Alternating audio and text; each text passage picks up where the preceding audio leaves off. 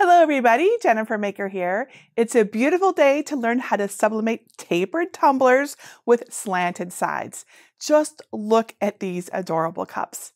Now these are a bit trickier to sublimate than cups that are straight um, and not tapered, but I'll guide you through all of the steps from setting up and printing your design to sublimating these amazing cups for your summertime beverages. So let's get started.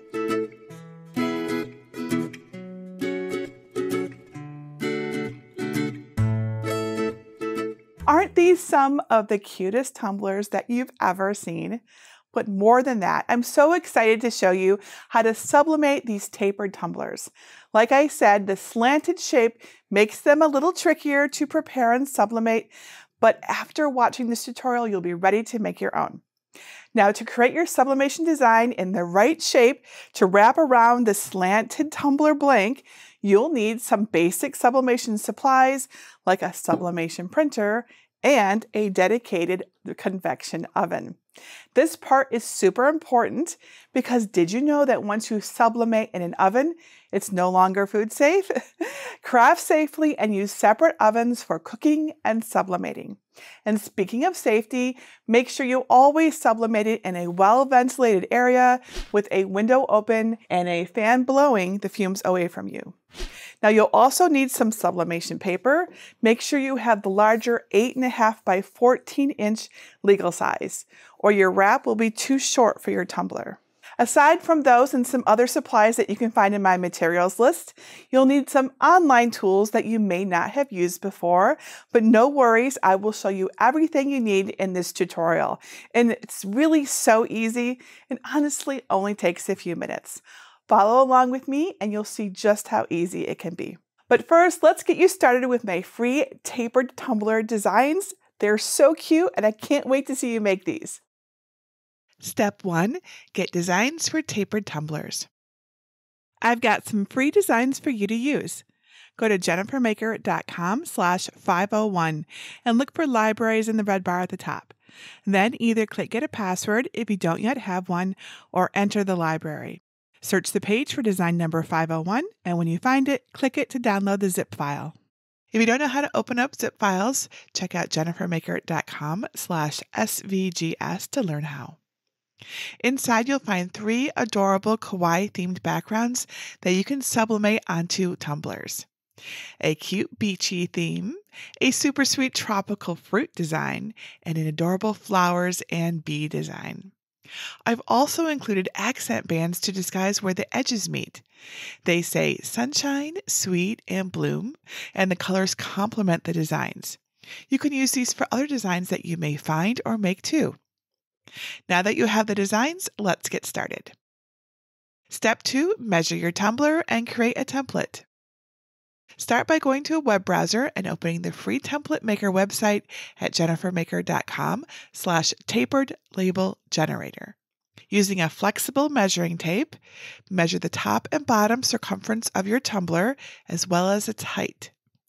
On the template generator, fill in the top circumference, bottom circumference, and height fields with those measurements. My tapered tumbler measures 11 and a half inches around the top, 8 and 3 quarter inches around the bottom, and it's 7 inches high. But yours will probably be different, unless you get the exact ones I did, of course.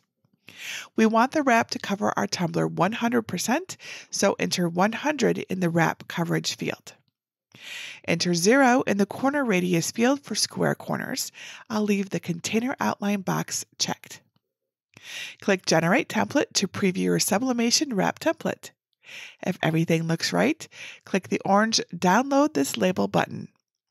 The website will ask for your email address. Once you enter it and click the Sign Up button, your template file will automatically download. It will be called tapered.pdf. In order to upload your template file into Canva, it cannot be a PDF, but don't worry, I have a fix. We'll use a conversion website to convert the PDF to a PNG. Go to online convert at jennifermaker.com slash PDF to PNG. Click on the arrow next to the Choose File button in the large green upload rectangle and select From Device. Select the tapered.pdf file and click Open. Just below that, in the optional settings, check the box next to Remove Background. Scroll past the rest of the options, leaving them on their default settings, and click the green Start button at the very bottom. After a few moments, the web page will refresh. The file should download automatically. If it doesn't, just click the green Download button. The file will be called tapered.png and looks like this. Step 3 Upload your template and design files to Canva. We're going to use software called Canva for this step, so first sign into your account. If you don't have an account, don't worry, no problem. You can sign up for one free at jennifermaker.com slash Canva. On the home screen, click on Create a Design. Click on Custom Size, then use the drop-down menu to change your units from PX to IN, which means inches. Then enter 14 for the width and 8.5 inches for the height and click Create New Design.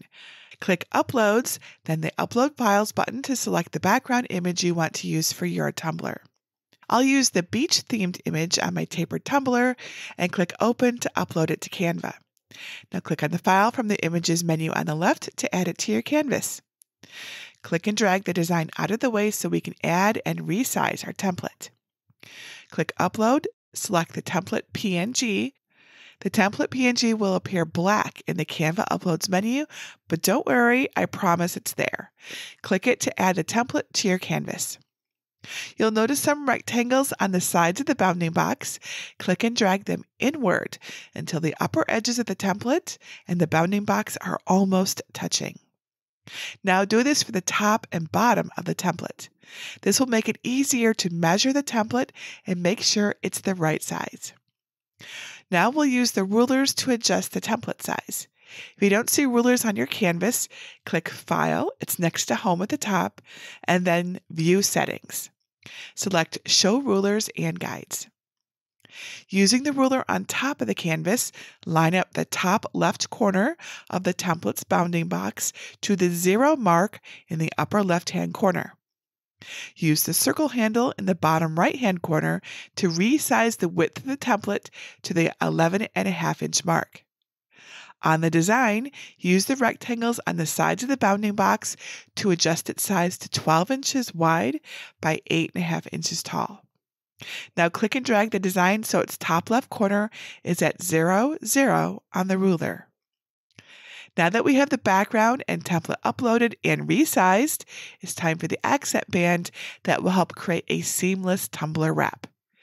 Click Upload Files again, locate the Sunshine Accent Band PNG, and add it to your canvas. Drag it to the right hand side of the tumbler template, then use the rotate handle on the bottom of the bounding box to angle it to 11 degrees until it lines up with the edge of the template. Use the rectangles on the top and bottom of the bounding box to resize the accent band until the top and bottom edges are pushed just off the canvas. Since we don't need to fill the entire page with ink, let's create rectangles to cover the parts of the design that we're not going to use. And since my tumbler is tapered, the edges will need to be at an angle too. Click the Elements tab and select the first square. Click the color box and change it to white. Using the circle on the bottom corner of the bounding box, drag the edge of the square until it's 8.7 inches tall. And use the rotate icon below it to angle the rectangle to negative 11 degrees. Line it up with the left side of the template until it lines up with the left edge of the template. Repeat with the right side, getting another square from the Elements tab and changing its color to white. Use the corner circles to resize the square to 8.7 inches tall. And use the rotate icon to angle it to 11 degrees. Line it up with the right side of the template. Resize the rectangles off the edge of the canvas until the background image is no longer visible except for the area inside the template. Click the Position button and select the Layers tab and then click All. Find the template layer and hover your cursor over it. Click the three dots that appear and then click Delete to delete that layer. Our tumbler wrap file is almost finished. Click the Share button and then click Download. Leave the file type as PNG and click the download button. And there we go. Our tapered tumbler sublimation wrap is all done. Wasn't that easy? Okay, well, there was a lot of steps. I love Canva. It is so useful for things like this. If you want to learn more about designing your own files in Canva, check out my Canva workshop. I'll teach you how to make several kinds of designs with their free, fun, and powerful tools. You can learn more information over at jennifermaker.com slash Canva workshop. Step four, use Google Docs to print your tumbler wrap. In your web browser, go to docs.google.com. If you're not already logged into your Google account, you'll be prompted to do so. Create a new blank document by clicking on the plus sign. To adjust the size and settings, click File and then Page Setup. Where it says Apply to, make sure it's set to Whole Document. Change the orientation to landscape, the margins to zero, and the paper size to legal. Click OK to save the settings. Next, click on Insert, select Image, and click Upload from Computer. Find the file from Canva and click Open to upload it. Click the design to ensure it's the correct size, and now we're ready to print. Click on the printer icon. Under More Settings, change the paper size to legal, or 8.5 by 14 inches, and the scale to 100. You may have to click Print Using System Dialog to see the rest of the options. Under Layout, make sure Flip Horizontally is checked. For print settings, select Photo Paper Matte and Best Quality. Remember that there can be some variances between sublimation printers, computers, and operating systems, so your settings might not look exactly like mine. In fact, they probably won't. The most important things to keep in mind are that you want to flip or mirror your design and you want to select the highest print quality. Make sure you have the right sublimation paper loaded correctly into your printer and click print. After printing your page, allow it to dry for just a little bit and then we're ready to sublimate. Step 5 Sublimate your tapered tumbler. When I check my sublimation cookbook for tapered tumblers, it says to preheat the convection oven to 375 degrees Fahrenheit or 190 degrees Celsius. I like to put an oven thermometer right in the center to make sure the temperature is correct. While waiting for the convection oven to come up to temperature, use a lint free cloth and a little rubbing alcohol to wipe down the outside of the tumbler. This removes any oils or lint from the surface, which means a better sublimation. Trim off the excess paper next to the accent band. With the printed side facing the tumbler, make sure the print is right side up. Leave the accent band ends visible at both the top and bottom of the cup. Slip the left edge of the paper under the accent band.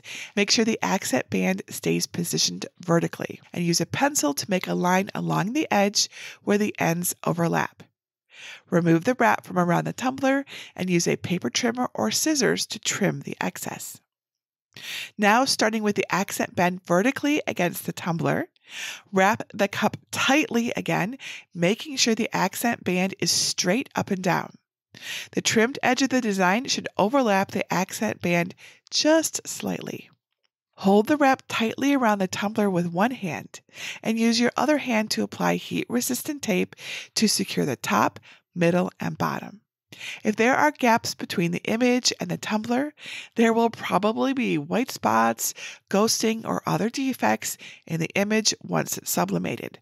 So tape it really, really well. Continue taping over the seam, keeping the wrap nice and tight.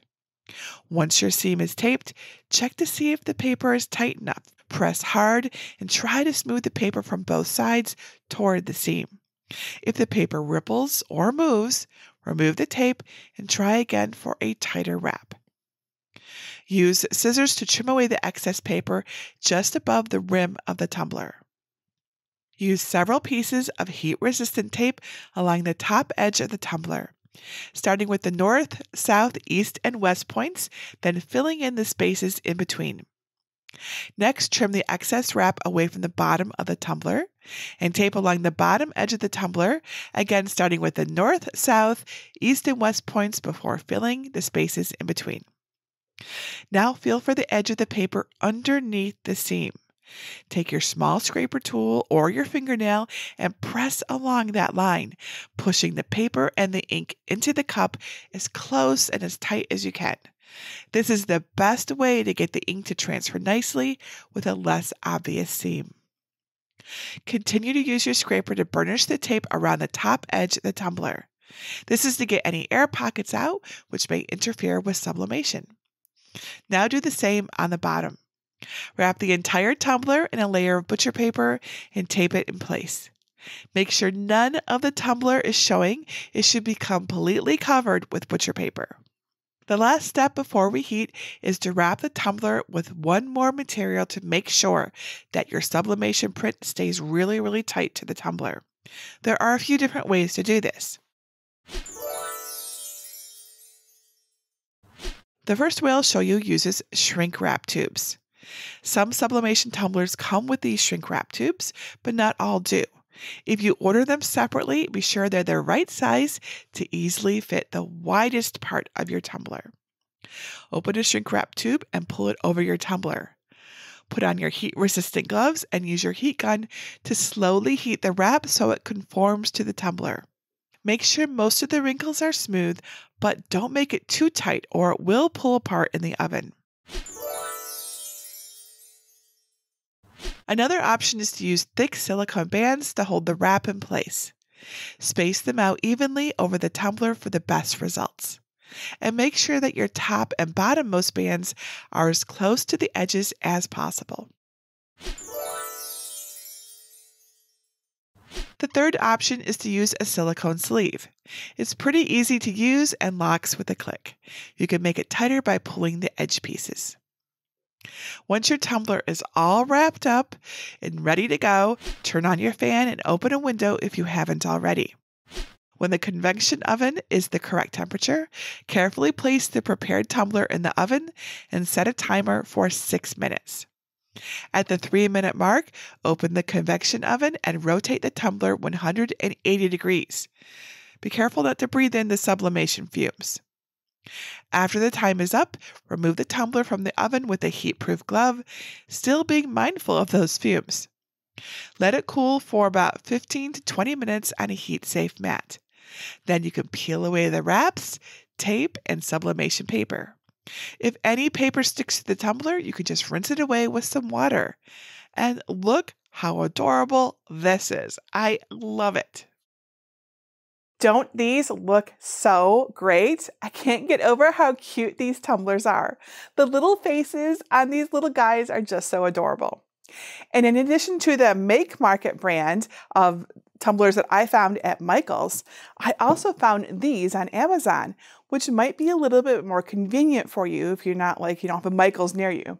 And they're actually a little bit sparkly, which is so fun. And they turned out great too, just like the Make Market ones. Now, you might not have the same tumblers as I do, and that's okay. Adjusting the template is super easy. Just use a flexible measuring tape to measure the height of your tumbler, as well as the circumference of the top and bottom. Then plug those measurements into the template generator website and follow the tutorial from there. Be sure to enter 100 in the wrap coverage field and 0 in the corner radius field, and angle your white rectangles so they match the angle of your template. It's really super easy. To make your sublimation print last as long as possible on your tumbler, I recommend not washing these in the dishwasher. Instead, hand wash them only with warm soapy water. Following these instructions will ensure that your sublimated tumbler keeps its bright and beautiful design from fading for a long time to come. And if you want to learn more about sublimation, check out my popular sublimation cookbook, right here at jennifermaker.com slash sublimation cookbook. It covers all my favorite recipes for creating amazing sublimation designs on over 150 different blanks. Plus, it includes all the super helpful sublimation tips and tricks that I've learned and can't wait to share with you. And if you want some inspiration, I also have a group just for sublimation crafting. Join us at jennifermaker.com slash sublimation group to ask questions, share ideas, and get inspired. If you have any questions, leave a comment below or ask in the group. My amazing team and I love to help. And that's it for today. Until next time, this is Jennifer Maker reminding you to craft a life you love.